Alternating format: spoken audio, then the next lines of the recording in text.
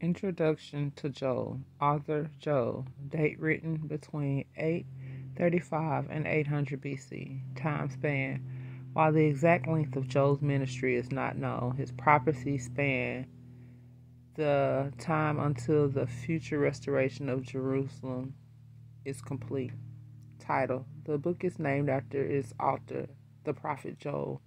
Joel has been called the prophet of Pentecost the name Joel means Yahweh is God. Background Judah is setting for the book of Joel is devastated by a vast horde of locusts. This invasion of locusts destroys everything in fields of grains, the harvests and gardens and the trees. Joel symbolizes Joel symbolically destri- describes the locusts as a marching human army and views all this as divine judgment coming against the nation for her sins. Were written, probably Jerusalem, to whom? Primarily to the southern kingdom of Judah, but also to all Jews and Gentiles.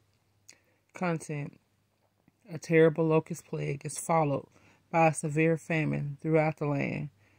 Joel uses these happenings as the catalyst to send word of warning to Judah that unless the people repent quickly and completely, um, enemy armies will devour the land and did. The natural elements, Joel, apply, Joel appeals to all the people and the priests of the land to fast and humble themselves as they seek God's forgiveness.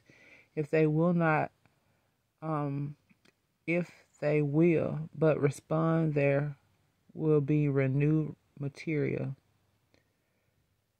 and spiritual blessings for the nation. But the day of the Lord is coming.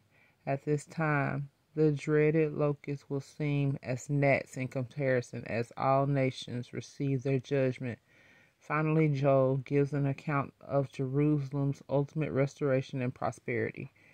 Key words locust, spirit. The book of Joel is highlighted by two major events one is the invasion of locusts, which devastates the lands of rebellious Judah.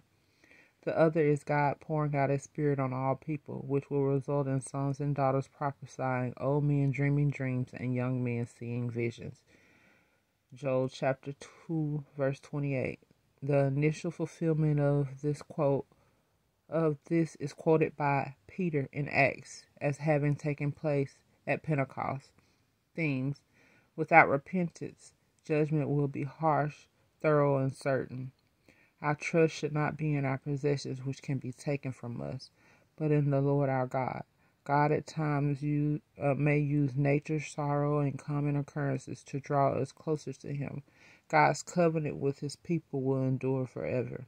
Outline Number one Invasion of locusts is found in Joel chapter 1, verse 1 through Joel chapter 2, verse 11. Number 2, God's mercy on the repentant is found in Joel chapter 2, verses 12 to 27.